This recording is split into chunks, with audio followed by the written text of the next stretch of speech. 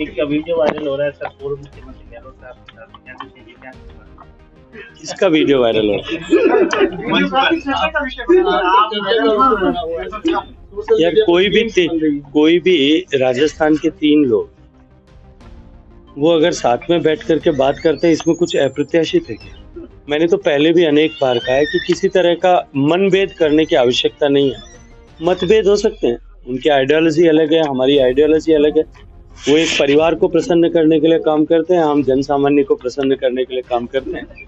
इस आइडियोलॉजी का विभेद हो सकता है बाकी हम सब लोग एक ही प्रदेश के एक साथ काम करने वाले लोग हैं। मुझे लगता है कि इसमें तो कोई कहीं चर्चा का विषय भी नहीं होना चाहिए। सर गहलोत साहब ने चाय पे बुलाया। आप चाय हाँ मुझे मुझे उस दिन उन्होंने कहा था कि अब मैं फ्री हो गया हूँ आप चाय पर आ जाए।